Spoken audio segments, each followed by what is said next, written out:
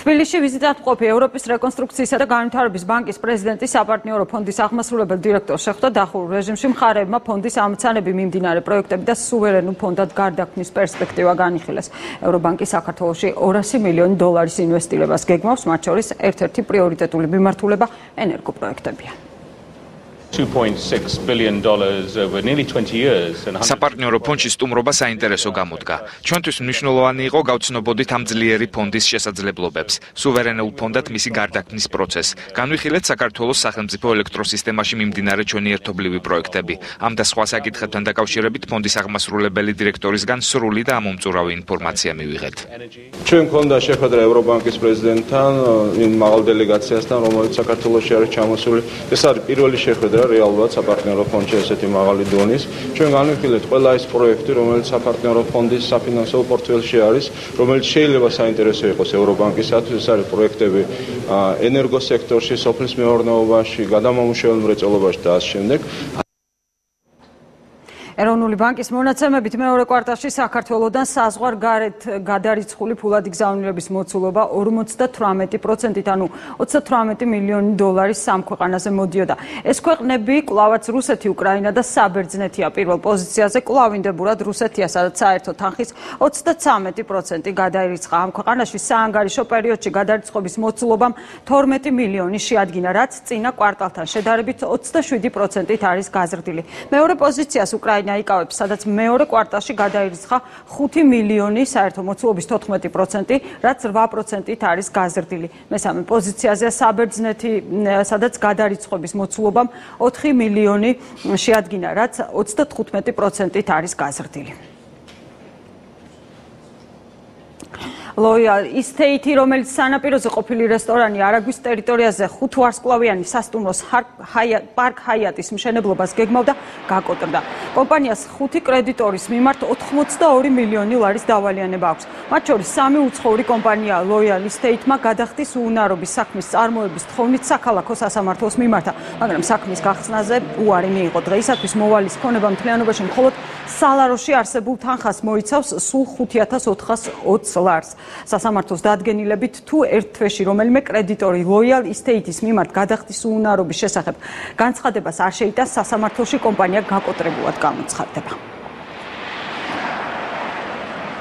თბილისი ბათუმის რეისებზე მოთხოვნის გამო აირზენამ რეისები დაამატა ბათუმი თბილისის მიმართულებით რეისები ყოველდღიურად სრულდება კომპანიაში აცხადებენ რომ აგვისტოდან ფასდაკლებების აქციები იგეგმება ამ დროისთვის მგზავრობის ღირებულება ერთხარეს 121 ლარია მგზავრობის ხანგრძლივობა კი 35 წუთი ერაყიდან ვარ. გასულ კვირას ჩამოვედი.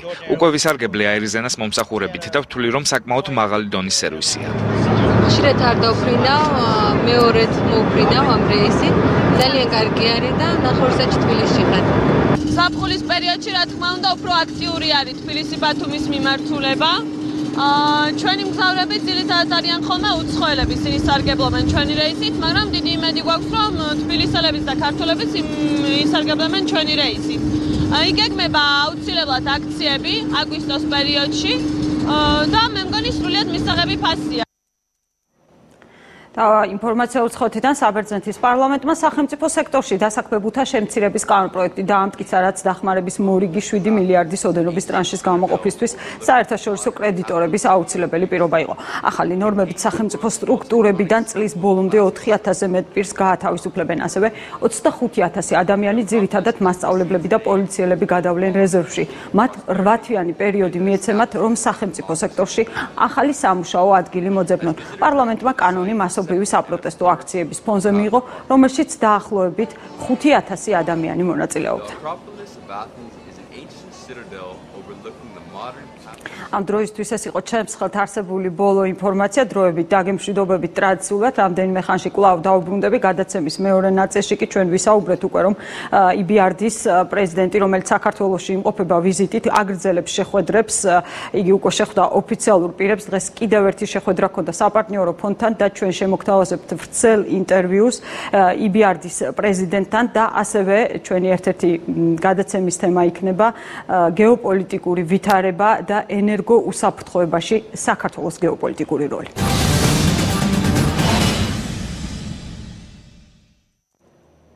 კლავეთერშია გადაცემა ბიზნესის დრო და კიდევ ერთხელ მოგესალმებით. ევრობანკი საქართველოს მთავრობას ეკონომიკური სტრატეგიისა და ხედვის მკაფიოდ ჩამოყალიბებას ურჩევს. საინვესტიციო გარემოსა და ეკონომიკურ ვითარებაზე საქართველოში ორდღიანი ვიზიტით მყოფმა IBRD-ის პრეზიდენტმა ბიზნესის დროსთან ინტერვიუში ვრცლად ისაუბრა. Financial institutions ევროპის რეკონსტრუქციის ბანკმა ისევე როგორც სხვა საერთაშორისო ინსტიტუტებმა საქართველოს ეკონომიკური ზრდის საპროგნოზო მაჩვენებელი 6-დან 4%-მდე დასციეს. გასულ თვეს ზრდა უკვე ნულს გაუტოლდა. გადახედავთ თუ არა კიდევ ერთხელ ამ მაჩვენებელს, რამდენად შემაშფოთებელია მდგომარეობა. situation is worrying for us uh, for Georgia. Well the EBRD's next forecast for the year will be in October. ოქტომბერში ახალ პროგნოზს გამოვაქვეყნებთ. მანამდე კი ეკონომიკურ პროცესებს დავაკვირდებით.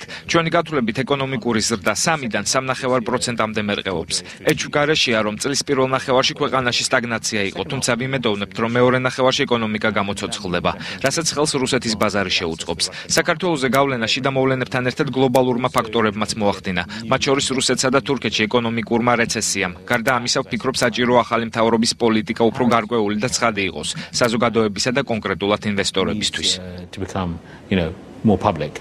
Uh, you have been in Baku. თქვენ იყავით ბაქოში და დღეს ერევანში მიფრინავთ. როგორ შეაფასებთ საქართველოს ეკონომიკას რეგიონულ ჭრილში?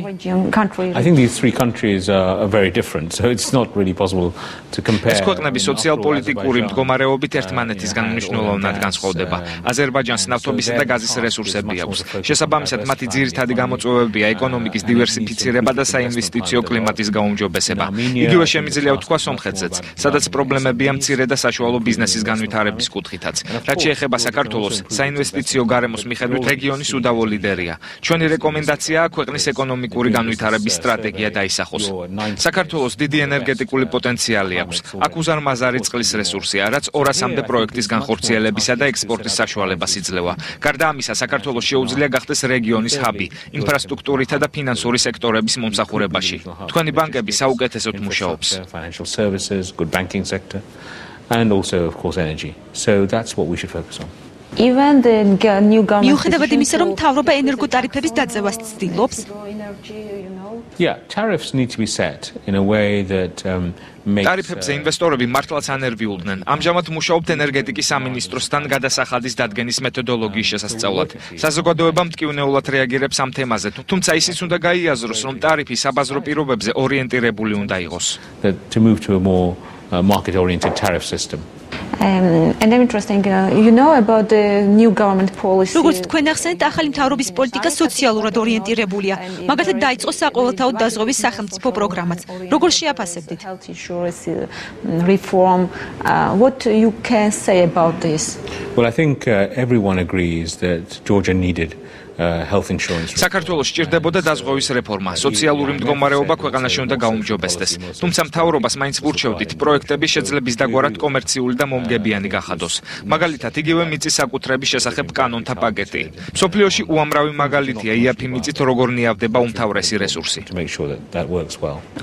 You mentioned the When განაცხადეთ კორპორაციული ბონდების გამოშვების შესახებ. კონკრეტულად რა მოცულობით და რა პირობებით მოხდება მისი ემისია? რა ტიპის მონაწილეობის მიღებას აპირებს ევროპა ბანკი ამ პროცესში. Well, we will be issuing a bond uh, I hope later this. ფინანსური კრიზისის დროს ქართულმა ბანკებმა დაამტკიცეს, რომ გამართულად მუშაობენ და არც ლიკვიდურობის პრობლემა ჰქონიათ. თუმცა დოლარიზაციის დონე ქვეყანაში საკმაოდ მაღალია. ეს კი საშუალო და მცირე საწარმოების ფუნქციონირებას ართულებს. ფსურ საკრედიტო რესურსი გავუხსნათ ბანკებს და ლარში სესხები მცირე მეწარმეებისთვის ხელმისაწვდომი გავხადოთ.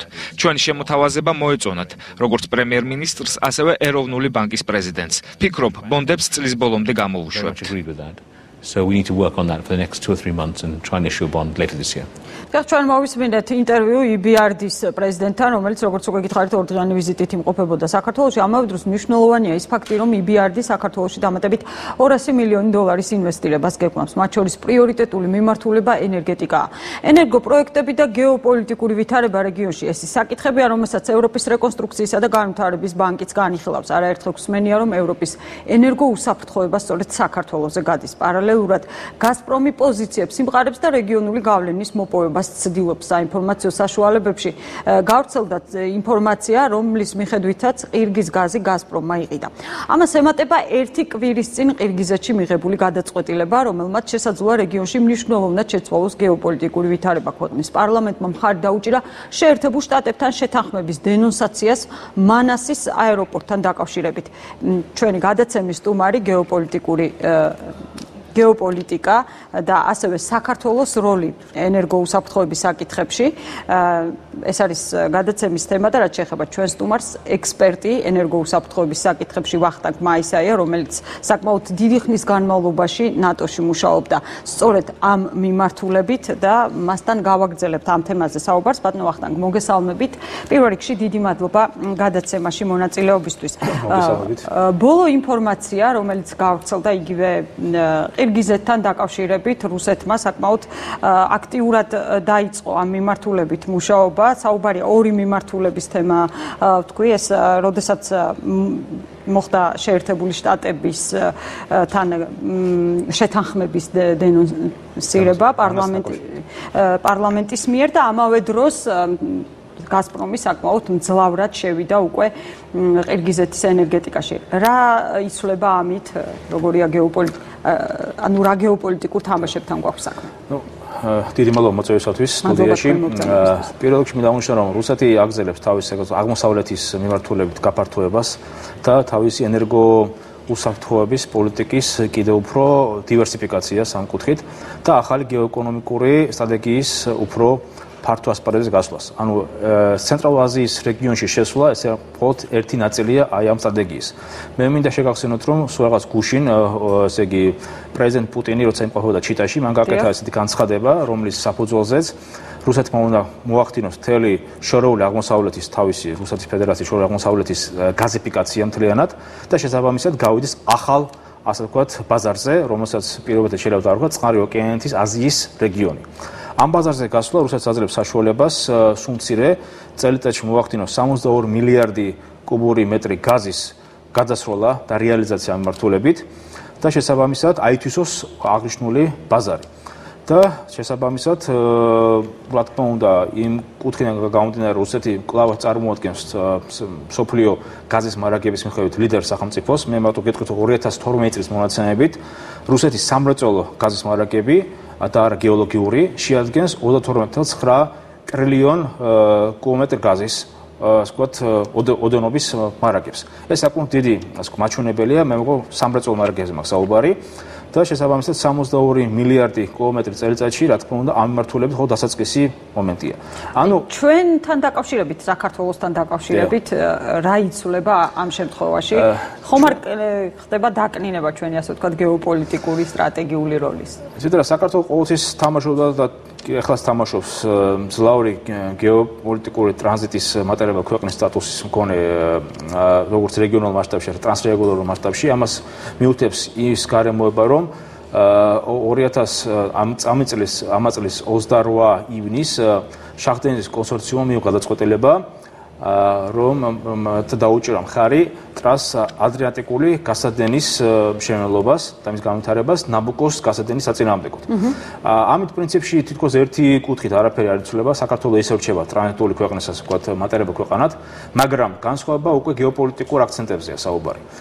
საქმე იმაში, რომ ნაბუკოს პროექტის გასადენის ნაბუკოს პროექტის განვითარებას, რომელიც წელიწადში სავარაუდოდ საპროექტო მოცულობა ყოფილიყო 31 მილიარდი კუბომეტრი მეტრი 1300 კილომეტრი უნდა ყოფილიყო ეს თქვა ეს და თქვა სიგრძე ამ პროექტის და რას ყველაფერს თავარია თავარი ესე თქვა ენერგეტიკული ჰაბი ანუ ესე თქვა ბირთუნა ყოფილიყო ავსტრია.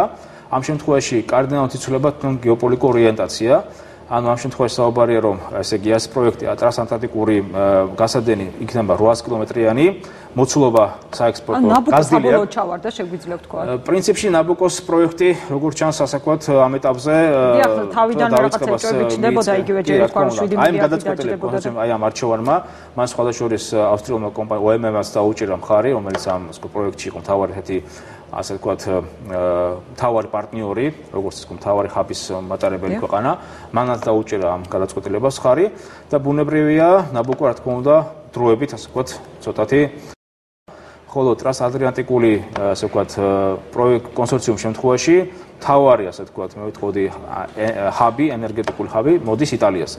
და თუ რა ურთიერთობა გააჩნიათ ყოველ შემთხვევაში იტალიის და რუსეთის ფედერაციის ამ ეტაპზე, თუნდაც ენერგო უსაფრთხოების კუთხით, ენერგო გეოპოლიტიკის კუთხით, ალბათ მისივში ამ ვითარებაში როგორი პოზიცია უნდა დაიკავოს ჩვენმა ქვეყანამ, ანუ საქართველოს?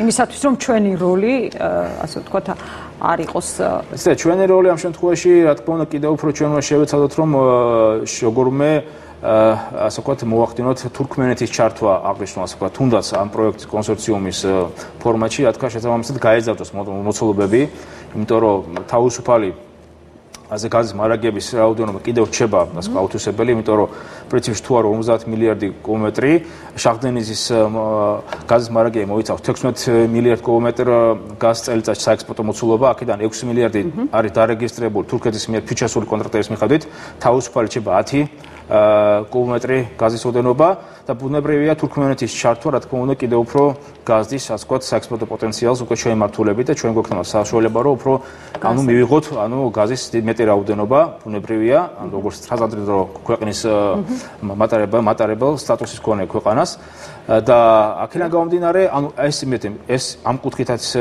არის სამუშაო. გასაგებია და მოდით ახლა მოვისმინოთ, რას ამბობენ ჩვენი კოლეგები, რომლებიც აფასებენ ამ ყაზახ ყირგიზეთში განვითარებულ მოვლენებს, თვითონ სტატიის ავტორი ჩავწერეთ ამ საკითხთან დაკავშირებით და გთავაზობთ მის ინტერვიუსაც.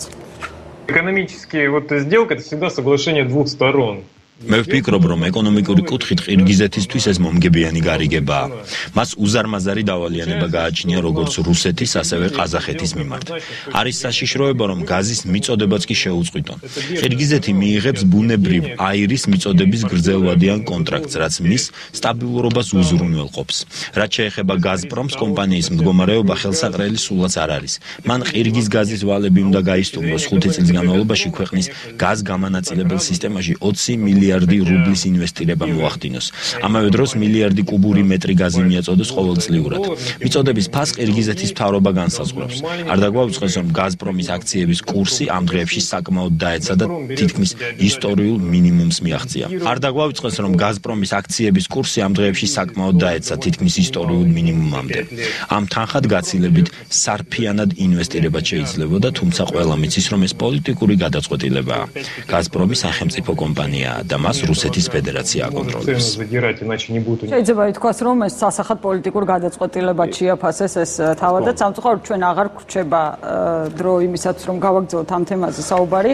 რეპლიკის სახით მოკლედ თუ შეიძლება ძალიან. რეპლიკის სახით მე მინდა თქვა, რომ ჩვენ რა მივახციოთ, რომ გასპრომ ანალოგიურ აგრესიული პოლიტიკა არ განახორციელებს საქართველოს მიმართ, როგორც მან განახორციელა რამდენი წლის წინ სომხეთის მიმართულებით და ბუნებრივია ტრანსადრიატიკული გასადენის ასე ვთქვათ პროექტის განვითარებით რუსეთი ამას შეეცდება. როგორც ეს შეეცადა ბულგარეთის მმართველობითაც. გასაგებია, ძალიან დიდი მადლობა ბატონო ვახტანგ ვახტანგ მაისაია, ექსპერტი ენერგოუსაფრთხოების საკითხებში გახდა ჩვენი გადაცემის სტუმარი. გადაცემა ბიზნესის დრო დასრულებული, ახლა კი კლავ ეთერს ირაკლი ჩიხლაძეს უსწრებ.